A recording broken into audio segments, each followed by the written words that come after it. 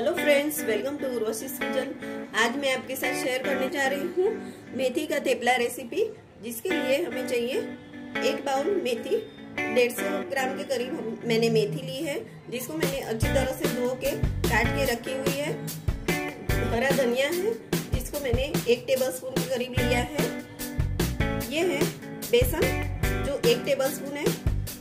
ये है butter milk छाछ। या जो अगर आपके पास बटर मिल्क नहीं है तो आप दही भी ले सकते हो। रोटी, मसाले लगेंगे, तेल और गेहूँ का आटा। सबसे पहले मैं ये गेहूँ के आटे में तेल डालूँगी। एक टेबल स्पून तेल डालेंगे हम। इसके बाद बेसन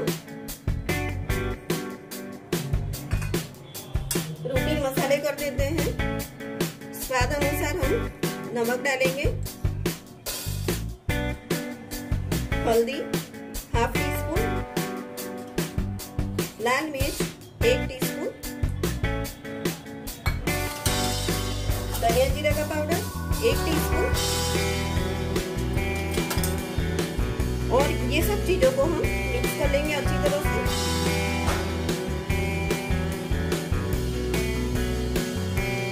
मिक्स करने के ये भाजी और हरा धनिया दोनों ऐड कर देते हैं। ध्यान रखिएगा कि ये इसमें भी थोड़ा पानी का प्रोपोर्शन जो है, अगर रह गया है तो इसमें पानी कम ही ऐड करना पड़ेगा। तो आप ध्यान से पानी ऐड करते, करना ताकि ये एकदम लूज ना हो जाए आटा। अब हम मैंने ये बटर मिल्क लिया है। तो बटर मिल्क में भी पानी का प्रोपोर्शन रहता है तो ज़्यादा हमको पानी डालने की ज़रूरत पड़ेगी ही नहीं।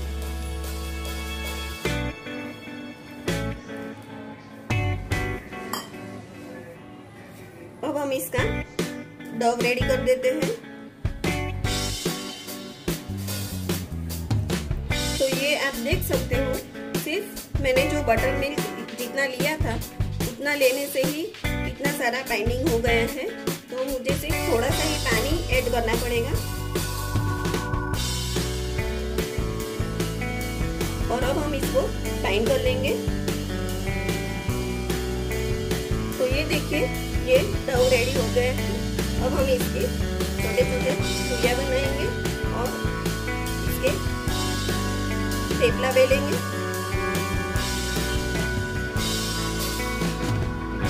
अब हम इसको बेलेंगे। तो अब मैं थेपला बेलती हूँ। थोड़ा सा तेल डालेंगे और इसको बेलेंगे। इस तरह से बेलना है।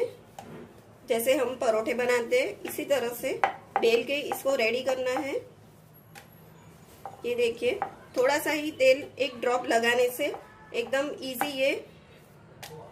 आप उठा पाओगे। तो ये देखिए, ये थेपला रेडी है। अब मैं दूसरा भी रेडी कर देती हूँ।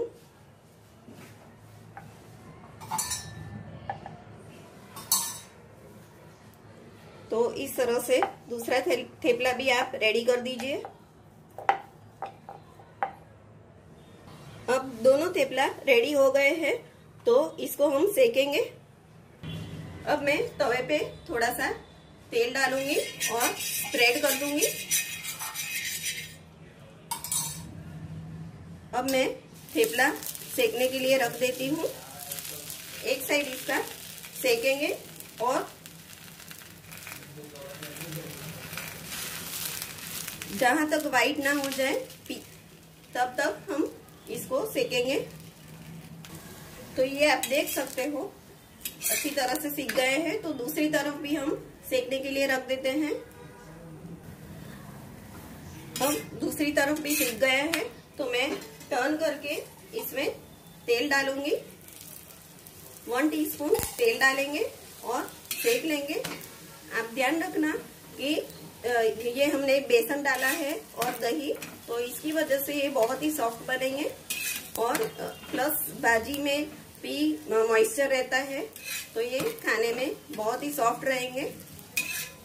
अब हम दूसरा भी रेडी कर देते हैं। ये देखिए, दूसरा परोठा भी थेपला भी एक तरफ़ से ये सीख गए हैं और दूसरी तरफ़ भी। अब हम इसको पलट देंगे और तेल डाल के सेक लेना है। गैस की आँच स्लो से मीडियम रखेंगे हम और एकदम हल्के हाथ से इसको प्रेस करेंगे। ताकि ये कच्चा ना रह जाए। अब हम इसको सर्व करेंगे। तो सर्विंग प्लेट में ले लेते हैं। तो ये देखिए, एकदम सॉफ्ट थेपला रेडी है। इसको हम अचार के साथ सर्व कर सकते हैं सॉस के साथ भी खा सकते हैं, और अगर आप चाहो तो सुबह ब्रेकफास्ट में दूध के साथ भी इसको एंजॉय कर सकते हैं। अगर आपको मेरी ये रेसिपी पसंद आती है तो लाइक शेयर और सब्सक्राइब करना मत भूलना। Thank you